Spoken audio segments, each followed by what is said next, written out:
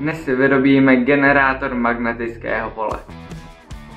V pokusu budeme potřebovat barevné papírky, ze kterých uděláme vrtulku, e, dva magnety sloužící k uchycení vrtulky, železný vrut, tuškovou baterii a drátek sloužící k propojení obvodu. Nejprve složíme vrtulku.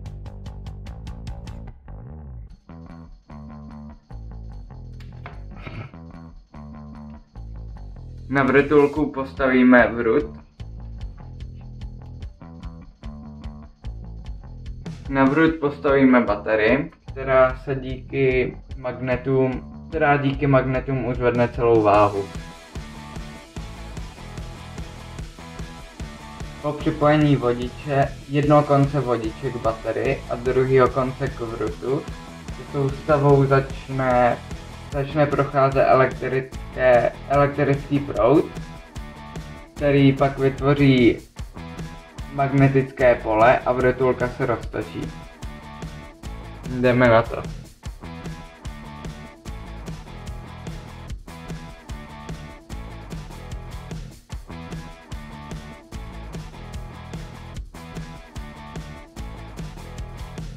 Pokud se nám povedlo, děkuji za pozornost.